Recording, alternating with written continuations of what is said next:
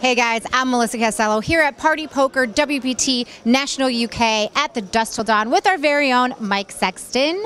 He played today, but didn't do so well, huh? Out of here today, but we're going to try again tomorrow. But uh, it's just a fantastic event. I mean, the value the players get here in England at these Dusk Till Dawn and Party Poker events are incredible. They had a Grand Prix Poker Tour where they brought poker to the people all around England. They put up massive guarantees. There's a million guarantee in this tournament.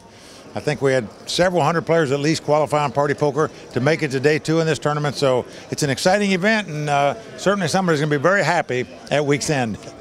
We had 209 players today, 99 of which were actual Party Poker qualifiers. That's half the field. That's huge. It's very huge, and they just do a tremendous job qualifying players online for day two of an event. Mm-hmm. We don't do much of that in the States, but over here, it's very popular because now players don't, you know, if they qualify for day two, they don't have to come a few days early, try to, you know, make it when they're in the room here mm-hmm. on Friday or Saturday. They come straight away on Sunday, and uh, they're in the money, and it's just great for everybody. All right, Mike. Well, what do you like to do for fun around here? You've been here before. You're kind of a regular. Well, around here, I'm mostly in the poker room all the time because the games are good. Uh-huh. I played in a big cash game the other night, and then we had our special one-table uh, satellite tournament the other night mm-hmm. uh, with the boxer Carl Froch, and our own Tony Dunst won that event, in fact.